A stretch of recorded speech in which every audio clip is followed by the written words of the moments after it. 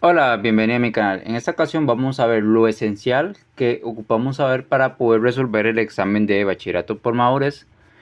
Por lo menos, bueno, esa va a ser la primera parte de la parte de las funciones. Entonces, primero tenemos que comprender qué es una función. Una función la podemos ver de manera como una especie de fábrica o de máquina que le vamos a entrar valores y van a salir otro tipo de valores.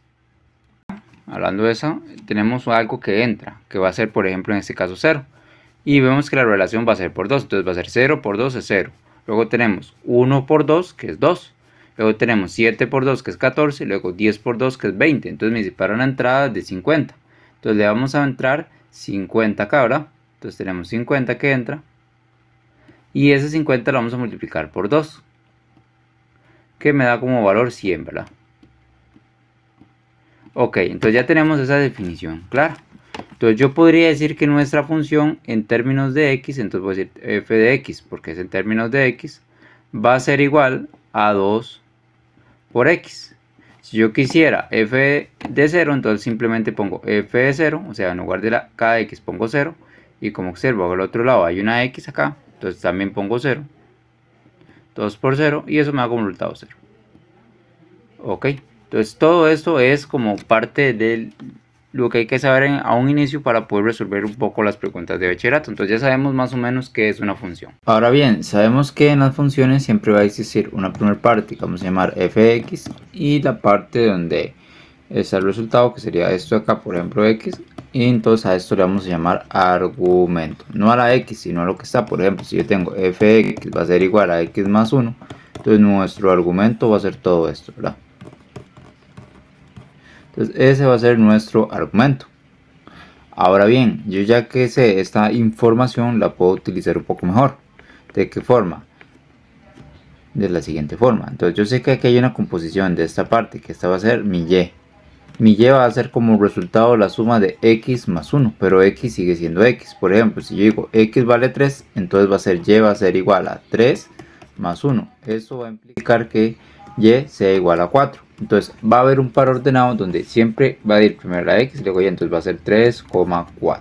Y esta va a ser mi y. Entonces ese es el par ordenado. Entonces en las funciones van a existir tanto números de x como números de y. Eso es en el caso de las funciones.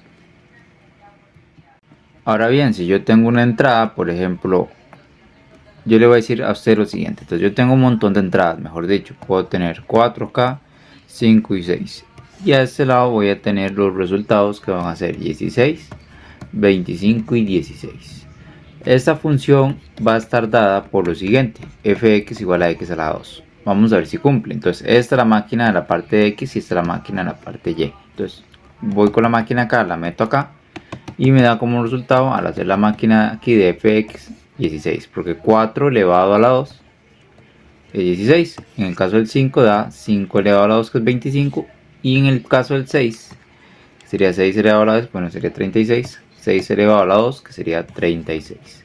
Entonces, al números con X les voy a llamar dominio. Y a mi números con Y les voy a llamar ámbito o codominio. Ok, esto me va a ayudar mucho a la hora de realizar los preguntas del examen de bachillerato por madurez, ya que yo tengo que saber siempre, siempre que lo primero que va a ir son la X y luego el resultado, o sea, lo segundo siempre va a ser Y. Entonces, esto es muy útil, ¿verdad? Para ese tipo de preguntas. Algo que tenemos, este, tener muy, pero muy, muy este claro es cuándo es y cuándo no es función. Entonces vamos a ver la relación cuándo es y cuándo no es función. Vamos a ver la primera de estas, que sería esta acá. Entonces vamos a observar por qué esa es función y por qué las otras no. Entonces vamos a ver, esta relación es una función. ¿Por qué es función? Porque cada x, o sea los valores de acá son x, tiene solamente una salida. En este pasa lo mismo, una salida en x. Pero ¿qué pasa acá? Vemos que la b tiene dos salidas, por lo tanto no es función. Con solo que la x tenga dos salidas no va a ser función. Entonces cuando pase esto no va a ser una relación de una función como tal. Vamos a observar un ejemplo cuando no es función. Entonces vemos que la A tiene dos salidas, tanto en el 1 como en el 4. Por lo tanto yo puedo decir que esto no es función.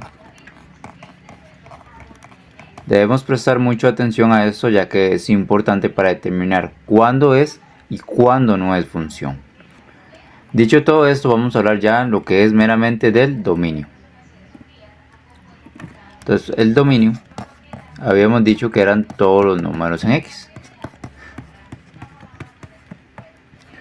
Números en X. Vamos a usar este término un poco no tan matemático, pero sí muy útil para poder aprendernos que el dominio siempre va a ser todos los números que van a estar en X. Entonces, por ejemplo, yo puedo tener un dominio. El dominio puede ser 2, 3, 4 y 5. Entonces, este va a ser el dominio. Entonces, estos elementos van a ser los dominios. Pero va a tener como relación un ámbito. Estos son los dominios de una función f de x. Si la función, por ejemplo, ¿verdad? Es f de x igual a 3x menos 1, ocupamos determinar el ámbito. Entonces, calcule el ámbito. Calcule el ámbito. Vamos a ver este ejemplo y luego vamos a hacer uno ya meramente de bachillerato con esta misma metodología. Entonces, ¿cómo hago? Muy fácil. Vamos a utilizar un poco ya lo que es la calculadora. Entonces, simplemente vamos a iniciar en la calculadora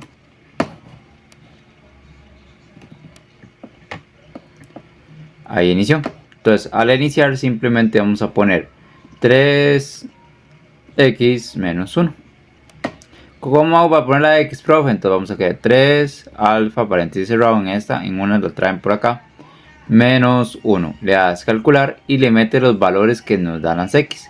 En este caso el primer valor es 2, entonces le doy igual y los valores que me van dando simplemente es 3x menos 1 acá. Simplemente me van a dar dos valores calcular con 2 que voy a utilizar para el ámbito. Entonces el primer valor en el ámbito va a ser 5. Luego voy con el segundo valor del ámbito. Entonces le voy a calcular con cuál valor mi nuevo valor va a ser 3. Este número de aquí no importa, este 12 que importa es el de arriba. Entonces le doy igual, ya ves que da 8. Coma. Vamos con el siguiente número. Entonces le vas a dar calcular. ¿Con cuánto? Con 4. Entonces pones 4 acá y te da 11. Entonces el otro sería 11. Y el último sería con 5. Calcular con 5. Y ves que da 14. Entonces simplemente lo escribes. Y eso sería mi ámbito. Entonces mi A va a ser igual, o sea, mi ámbito va a ser 5, 8, 11 y 14. De la función 3x menos 1. Bueno, ahora vamos a hacer ya el ejemplo meramente como en una pregunta que había salido en examen de bachillerato que dice lo siguiente. ¿Cuál de las siguientes opciones contiene una afirmación correcta referida a la función f dada por... Y aquí d es como decir el dominio. Y tienen que darme como resultado 0. De f de x igual a 25, voy a escribir esto en grande. 25 menos x al cuadrado sobre x menos 5. Esto es muy fácil. Yo sé que me están dando algunos valores que pertenecen a d. Dijimos que siempre lo que está primero era x, entonces estos valores son x. Entonces esto va a ser como que x va a ser igual a 5, x va a ser igual a menos 5, esta aquí va a ser x igual a 5, unión, o sea, tienen que ser los dos términos, entonces x igual a 0. Recuerde que esto es una clase de funciones y no tanto de la parte de conjuntos que ya hay que saberla para poder hacer esto.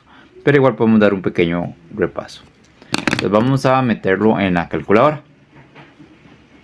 Ya metiéndolo acá en la calcu quedaría lo siguiente. Entonces vamos a escribir la fracción. Sería, preto acá, que es fracción. 25 menos x al cuadrado sobre x menos 5. El primero dice x igual a 5, entonces yo le aprieto calcular con el valor de 5. Ves que da error matemático. Cuando pase eso simplemente doy falsa. Porque dice mat error. Diga que dice mat. Cuando diga syntax es que usted lo digitó mal, ¿verdad? Son dos cosas diferentes. Ahora bien, si yo vengo y digo, ok, necesito calcular con menos 5, entonces sería cal con menos 5, me da como resultado menos 3. Ok, vamos a revisarla bien para ver qué pasó. Es 25 menos x al cuadrado. Entonces vamos a ver otra vez cal con 5. da más de error. Ahora vamos cal con menos 5.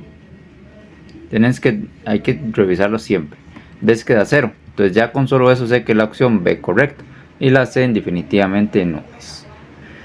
¿Por qué? Porque tienen 5 y el 5 dijimos que no. Entonces eso ya sería falso. Y ya con eso finalizaría. Bueno, muchas gracias por ver este video. Si usted quiere ver otro video o la continuación realmente de este video, puede darle like y dejarme un comentario qué te pareció este video. Muchas gracias y hasta luego.